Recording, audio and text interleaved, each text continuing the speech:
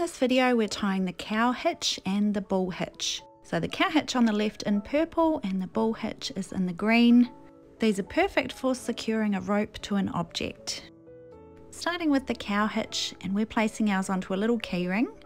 Start by making a loop or bend in your rope or paracord and then place the loop down through the keyring.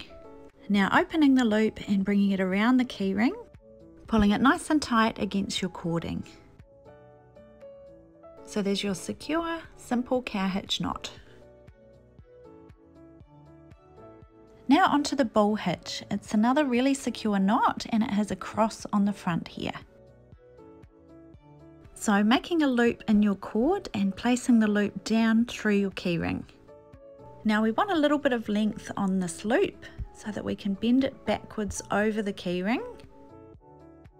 Now once it's over this side, we place one twist in the loop. And I just hold it inside the loop with my thumb there and then bring this loop back over the keyring. Pulling it all down nice and tight and working those threads so that they're sitting nice and tidy and in the right position.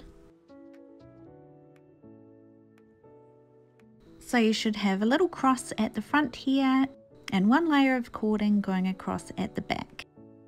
So that's your simple secure bull hitch knot.